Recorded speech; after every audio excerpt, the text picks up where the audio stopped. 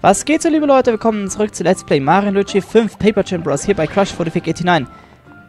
Wir, wir, wo wir sind nun eigentlich jetzt auf dem Weg zum ähm, äh, Spiegelbildberg, wo sich jetzt die beiden Prinzessinnen aufhalten sollen.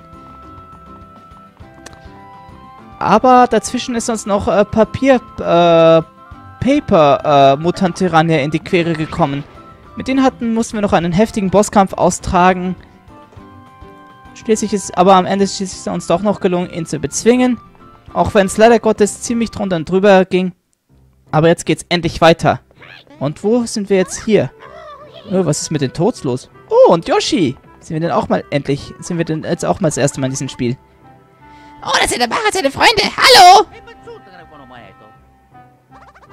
Wisst ihr, in letzter Zeit treiben sich viele von Bowser Schergen im Wald herum. Ich wusste es. Sie führen etwas in Stille, so viel ist sicher. Ich konnte sie dabei beobachten, wie sie in einen verdächtigen Tor gewackelt haben. Ja. Zusätzlich sind noch all diese Papierbäume und Felder aufgetaucht. Mag es sind von den ganzen Papierschurken und die aus dem Nichts aufgetaucht sind. Hä? Habt ihr irgendwelche Ahnung, was hier vor sich geht? Das ist so gruselig! Das liegt an dem Buch. Genau, wir Leute schon bemerkt, wir arbeiten an einer Lösung. Oh, das ist ja wirklich eine Erleichterung. Falls ihr noch etwas braucht, könnt ihr hier im Dorf ein paar Besorgungen machen, bevor ihr euch auf den Weg begebt. Die Katze aus dem Sack ist jeder. Und jeder scheint zu wissen, dass wir zum Spiegelbildberg ziehen. Da packen wir unsere sieben Sachen und machen uns dann auf die Sorgen. Okay. Dann checken wir mal die Lage. Vorher gucken wir uns hier ein bisschen um. Ah, in diesem Wald gibt es feuchte Bären. Und jetzt sind sie sogar reif. Ja, der, der hat nur eins im Kopf, nämlich fressen. Oh, diesmal geben sie sogar jeweils fünf Münzen. Na, dann muss ich sie erst recht alle öffnen. Die ganzen Blumen. So. Gib das her. Superpilze. Und hier gibt es auch einen Halbblock. Hier habe ich jetzt gerade auch wieder meine ganzen Items verschwendet. Ja, was soll's. So. Jawoll!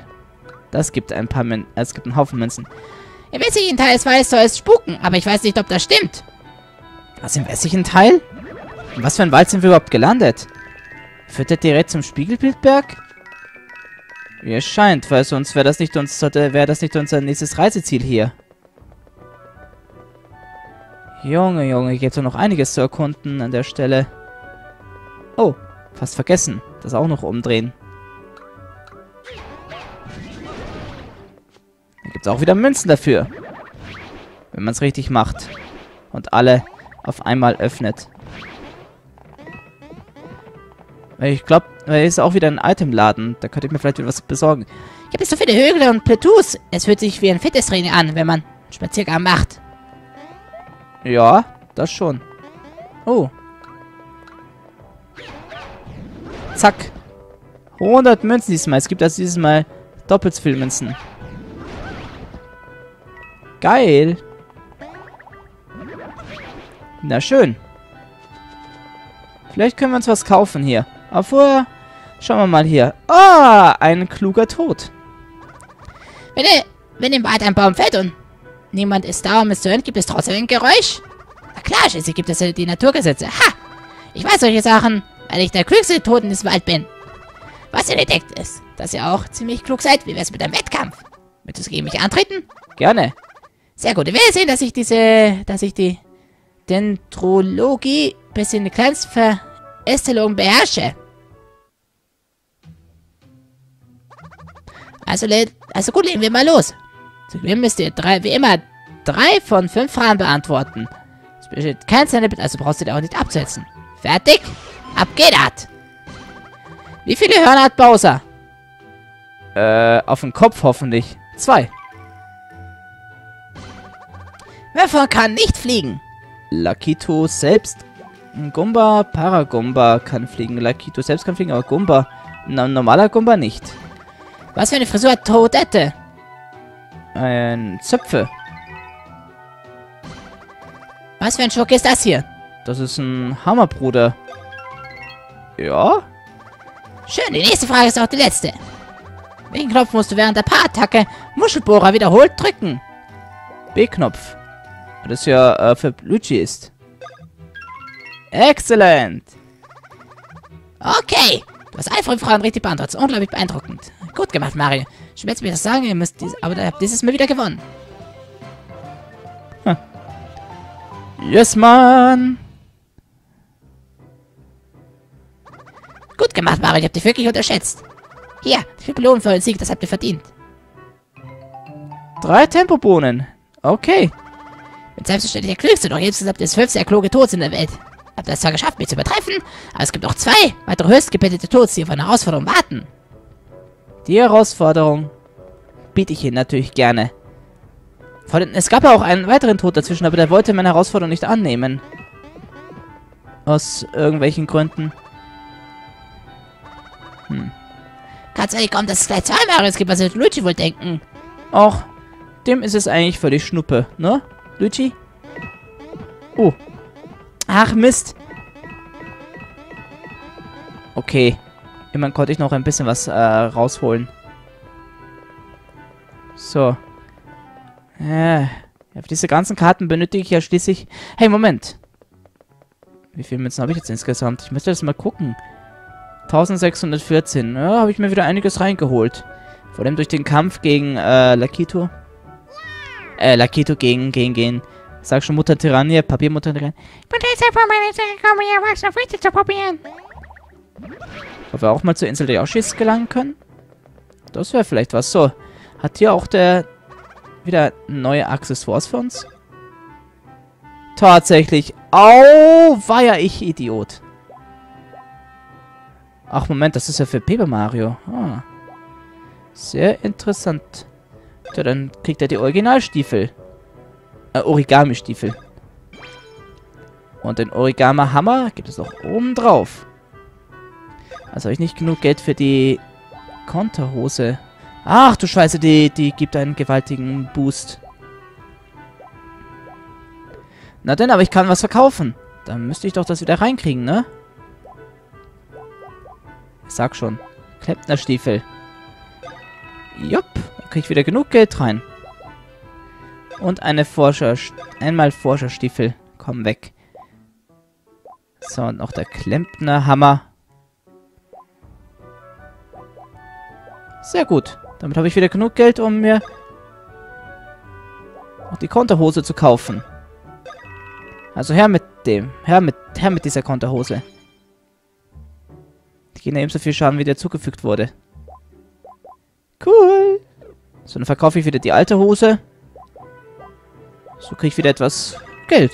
Ja, machen wir das so. So. Punkte tun wir dabei noch nicht einlösen. Wir haben noch nicht so viel. Sparen wir uns das ein. Sparen wir uns das für später auf. So. Da haben wir immerhin das Paper Mario noch stärken können. Für die anderen gab es jetzt nichts, ne? Ich habe da jetzt jedenfalls nichts bemerkt. Ich muss noch mal gucken, ob da noch was für die anderen... Ob es noch was für die anderen gab, ne? Nee, gibt's nichts Besseres. Ah, aber hier gibt's auch noch KP-Schale und alles drum und dran. Aber ich bleib bei der Sternbrosche. So. Jetzt hat aber, glaube ich, Paper Mario mehr Verteidigung als, bei, als alle anderen. Mit dieser Hose bekommen. Ja, tatsächlich. Paper Mario hat jetzt die höchste Verteidigung. Naja. Aber ich denke mal, dass... Das sollte auch so in Ordnung sein, ne? Weil Paper Mario hat die geringsten KP. Und eigentlich auch hauptsächlich fast schon die geringsten Werte. Aber liegt auch vielleicht nur daran, weil er sich nämlich in Kopien aufteilen kann, mit denen er gleich das Sechsfache seiner Kraft rausholen kann. Oder bis zum Sechsfachen seiner Kraft. So. Ich weiß, ich bin zwar schon geheilt, aber ich probiere, ich mach's trotzdem nochmal so. Okay, okay, das äh, Lakito Infozentrum, da war ich ja auch noch nicht. Jetzt gucken wir mal, ob es wieder Todes zu retten gibt. Nein? Okay. Wie steht's mit dir? Nein. Ach so, ja, stimmt. Man kann sich nochmal eine Mission probieren, aber nein, nein, nein. Habe ich nicht nötig. So. Jetzt ab in den Wald. Heute bleibt die Küche kalt. Wir gehen in den mysteriösen Wald. Ihr gebt einfach nicht auf, oder? Moment, wer ist das? Ach, Kamek! Ihr gebt einfach nicht auf, oder? Ich würde ja nichts lieber tun, als euch doch mal eine ordentliche Abreibung zu verpassen. Aber anders als ihr faul. Jetzt habe ich wichtige Dinge zu erledigen. Ich habe keine Zeit zu babysitten. Kochi, go! Was zum Henker? Die ganzen Magiesymbole in gigantischen Kartonformat. Da soll ich erstmal beschäftigen. Hey, bleib stehen! Was sollen wir jetzt dagegen tun? Mit einem Superhammerschlag kriegen wir das nicht weg. Tja, dann müssen wir wohl einen anderen Weg gehen. Oh, Wickler? Hallo? Oh, der ist uns freundlich gesinnt. Und hat Hunger, oder? Hört sich jedenfalls so an. Sei gegrüßt, Wanderer. Könnte etwas zu essen für diesen arm ausgehungerten Wickler übrigen? Ach so. Er hat tatsächlich Hunger, der arme Kleine. Hey, da ist, da ist Obst! Wie kommen wir da ran? Ah, einfach so. Eine Beere. Na denn, hier für dich. Hier bitte. Hm, gar süße Duftkids entwickeltes Nase. Njam, njam, njam, njam, einfach köstlich. Wie das kommt mit einem Koch. Bei solch großen Hunger schmeckt alles gleich doppelt fabelhaft. So, schon geht's ihm besser. Mika Sims Katze ist zurückgekehrt. Vielen Dank. Wir freuen uns, dass wir dir helfen konnten. Oh, was hast du getan? Hm, Moment, was? Habe ich mich da jetzt verlesen? Schon wieder? Ja, kann sein. Hier geht es so seltsam. Er hat es gerade vom Boss ist ja über den Weg gelaufen. Aber sie selbst. Oh, sie haben Wickers für Hunger verursachte Schwäche ausgenutzt. Und sie haben Wickers Wald verschmutzt. Dann wollen wir mal diesen Müll einsammeln. Oh oh. Und jetzt will alle bringen! Oh weia. Hahaha. Wenn er wütend ist, dann räumt er auf. Dankeschön. Dann hat der Wecker wirklich gründlich sauer gemacht. Jetzt ist der Weg auch frei. Auf geht's, Leute! Und das Problem wurde aber schnell gelöst. Hey, hey, ich wollte mich hier noch umgucken. Da ist noch Obst. Ey, was zum... Was wollt... Was willst du noch? Diese ganze Geschäftigkeit hat Wickler ausgelaugt, aber er würde ja nur noch so ungefähr 10 weitere Beeren Essen bekommen. Vielleicht könnte Wickler dann genug Kraft aufbringen, um sich aus dem Weg zu schleppen. Vielleicht. Ist das dein Ernst? Zehn Beeren? Nur um ein paar Schritte zu machen? Was ist denn... Ah. Fein. Dann hole ich mir halt diese gottverdammten Beeren. Meine Fresse, hat der Ansprüche. Wie komme ich da hoch? Ich schätze mal, ich müsste das hier verwenden. Und schupp. Ach, Moment, da könnte ich auch dann das Obst holen. Hä? Hey, ich will das Obst holen. Wie komme ich da wieder zurück?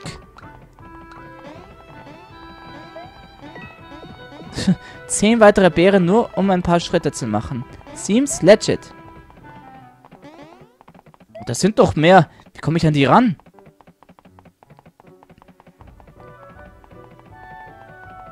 Hm. Moment, da müsste man Hammer einsetzen. Ja, da verschiebt man diese. Natürlich. Okay, immerhin. Ah, und da komme ich jetzt bestimmt auch an die... Eine Beere ran. Und schnapp. Nummer 1. Reicht aber nicht eine einzige Beere, um dich wenigstens nur kurz aus dem Weg zu bewegen. Das hat doch wohl nicht zu viel verlangt, oder? Oder? Ach, anscheinend doch. Verflixter kleiner Vielfraß. Okay, darüber.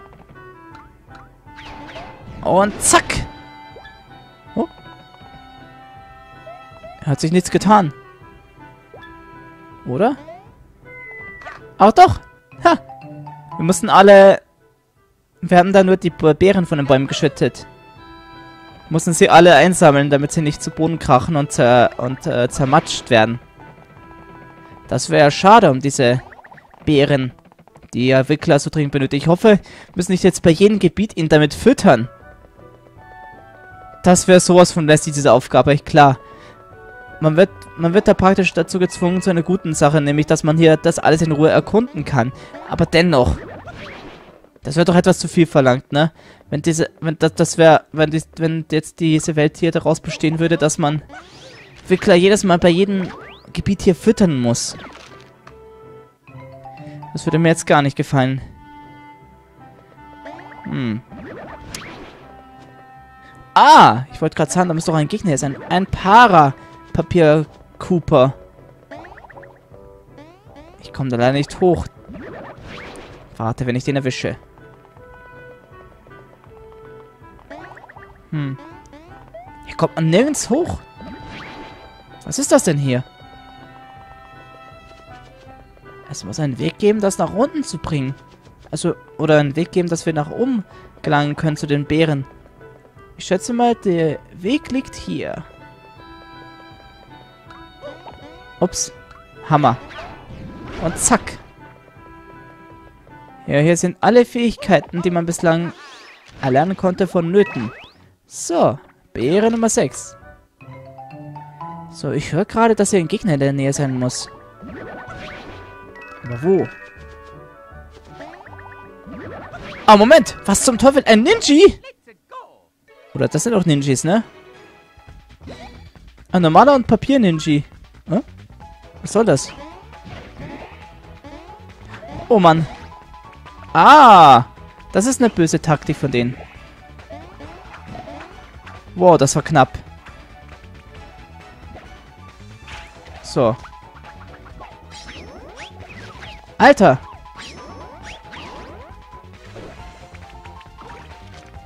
Das ist heftig. Das hat zudem noch die Verteidigung gesenkt. Na schön. Erstmal mehr Sternenpower. Also mehr Sternpunkte. Heieiei. Hammer Papier Mario. Da hat er jetzt gerade die höchste Angriffspower bekommen und dann sowas. Also höchste Verteidigungspower und dann wurde sie wieder abgesenkt. Diese verflixten Ninjas. Aber jetzt setzen sie mal Ninja-Techniken ein. Weil früher hatten sie nur diese Namen und sahen vielleicht aus wie maskierte Ninjas, aber sie hatten niemals ähm, Ninja-Techniken eingesetzt in dem Sinne. So, Kopien wieder erstellen. Ich muss alle haben. Und du gibst diesen an Ninja dem Rest. Was zum... Hey! Was hat er gemacht? Der hat einfach ein Jutsu des Tausches verwendet. Ah, Moment, ich habe schon die Fälschung erkannt. So. Wieder Papier Mario. Dieses Mal nicht. Aha. Okay, die Gegner sind schon ein bisschen heftiger drauf wieder mal. Ach so, das sind wieder solche Sprungdinger. Dann Doink. Oh oh, Papier. Scheigeist oder Waldgeist, also diese Eingeborenen aus Yoshi's Island. Schön, die auch mal wieder zu sehen. Oh oh. Okay, warum muss man springen? Oh, das war knapp. Nein, es hat Mario erwischt. Oh. Das ging gut. Paper Mario hat leider wieder einen Angriff abha... Also musste leider Gottes wieder Schaden erleiden. Oder Angriff einstecken. Was ich total nervig finde. Aber die Gegner müssen erstmal studiert werden. Wow, die leben immer noch. Hm. Was? Achso, ich habe nicht genug. Äh. Ja, okay. Mir fehlen noch äh, ein paar Sternpunkte. Na gut. Kopie erstellen und Mario jetzt das Feld überlassen. Roter Panzer 3D. Geben wir ihm damit den Rest. Mann, die sind harte Nehmen. Aber nicht hart genug. Schon wieder so eine Karte. Ich sollte echt mal so langsam aber sicher... Hm. Sonst ist hier sicher, sollte ich mal die Amiibo-Funktion äh, installieren. Moment. Da sieht doch was auf dem Boden. Aha! Ich hab dich schon gesehen. Glaub ja nicht, dass du meinen Blicken entwischen kannst. Oh oh. Wie werden sie jetzt darauf reagieren? Okay, der rote immer. Alle anderen sind blau. Oh oh. Eieieiei. Na toll. Ach. Ausgerechnet Luigi schon wieder. Und wieder muss ich eine Frischwurz verwenden. Erhol dich, Mann. Reiß dich zusammen. Es gibt zu tun. Also wir haben, wir haben, wir haben was zu tun hier, weißt du?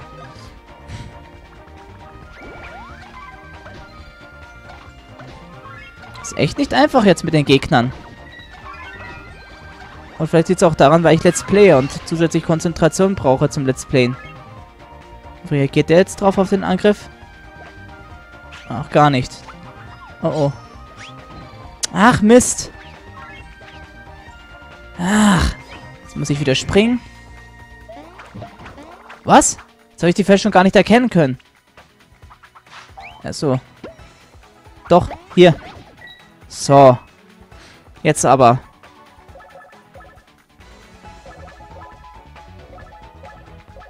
Na gut, dann verpasse ich den noch einen Hammerschlag. Auf die Mütze! Was zum... Nein, der hat das Jutsu des Tausches verwendet.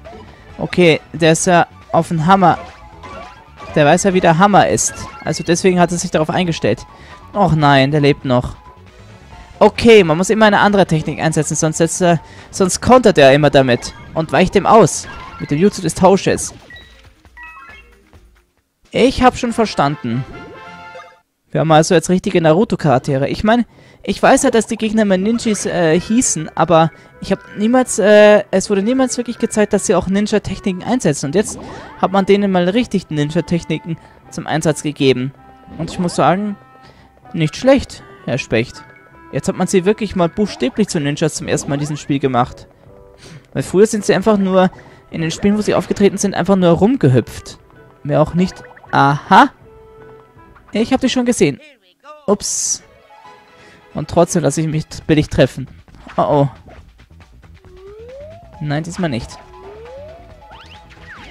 Ah, zu früh. Boah. Alter. Ich hasse diese. Nein, nein. Diesmal nicht. Diese Ninjas sind echt hart. Und heftig. Dieses Mal. Ich muss das noch ein bisschen eingehender studieren. Gegen die zu kämpfen. So, erstmal das Erfahrungsschub. Und vielleicht noch eine... Nee, lass mal das. So. Zeit für eine Brosblume. Jetzt werdet ihr mal wieder angekokelt. So. Ah, und weg mit euch. Burn, Baby. So. Kopien erschaffen. Und hoffentlich dieses Mal nicht treffen von, lassen von den Gegnern. Ähm, hier. Roter Panzer. Gehen wir ihn da mit dem Rest. So. Und zack. Das war doch ein genialer Abschluss. Experten Roter Panzer 3D. Okay. Und jetzt wieder Level Up für Mario. Yes, Mann. Da kann er sich zurecht freuen.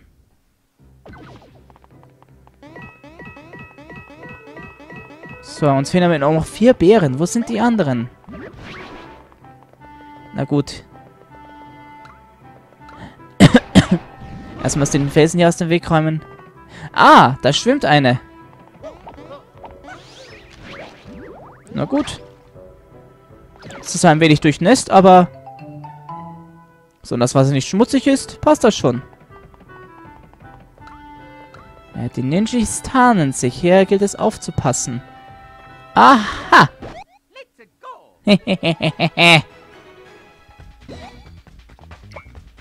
so, auf Sprünge sind jetzt diesmal getrimmt. So. Ach so, ich habe schon den Unterschied erkannt. Die einen haben andere Farbe, die Fälschungen, während diese, während die Papierformen wiederum sozusagen knittern. Ach Mist. Also zerknittert sind. Das habe ich jetzt erkannt, aber ich bin leider zu früh gesprungen. Oh. So ein Kack. So eine Kacke aber auch. Hm, roter Panzer, das greift der... Sollte eigentlich dann alle Gegner attackieren. So. Und bam. So, und lieber mal die Karten umdrehen. Ja, die brauche ich ja alle nicht. So. Und Brostblume für den Abschluss. Machen wir euch wieder down.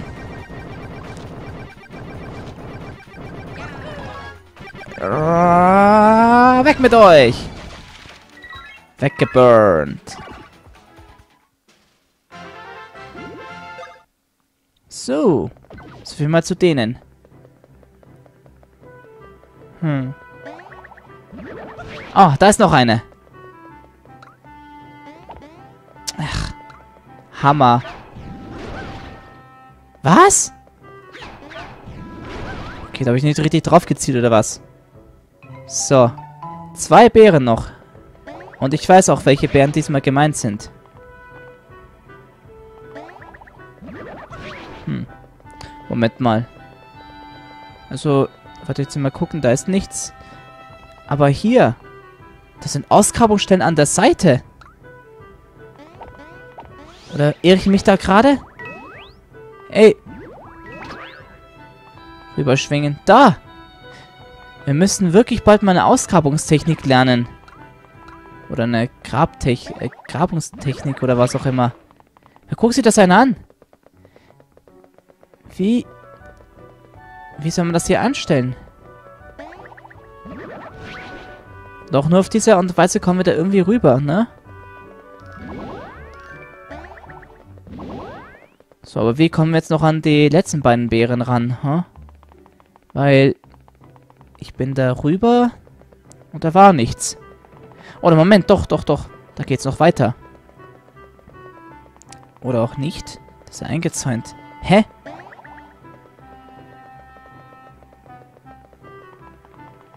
Nee, da... Da komme ich nicht runter. Das ist leider eingezäunt.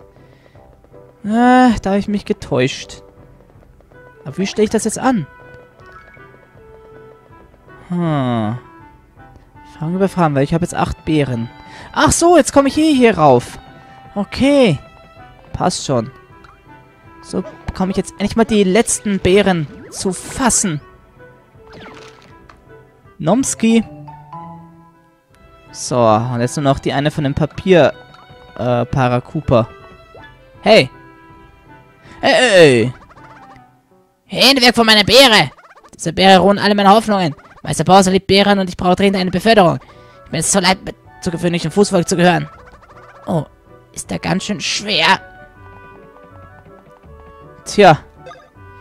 Ich fürchte, du, musst die, du wirst dich damit abfinden müssen, mein Freund. So, vorher heile ich mal ein bisschen. Wir haben schon viel zu viel Schaden erlitten an der Stelle. So. Oh, entschuldigt. Der Rübs hätte nicht sein dürfen. So. Okay. Alter. Jetzt habe ich die Beere. Ha. Sorry, du wirst dich damit abfinden müssen. Ach, jetzt brauche ich neues Geschenk für Browser. Was schreibt man? Ein Diktator, der schon alles hat?